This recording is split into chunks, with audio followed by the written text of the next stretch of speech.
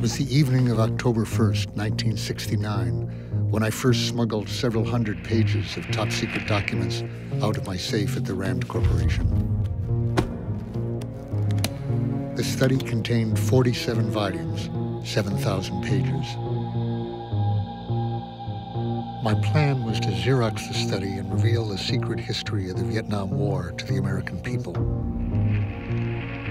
The FBI was trying to find out who gave the New York Times a copy of the Pentagon's secret study. Pow, like a like a thunderclap, you get the New York Times publishing the Pentagon Papers, and the country is panicking.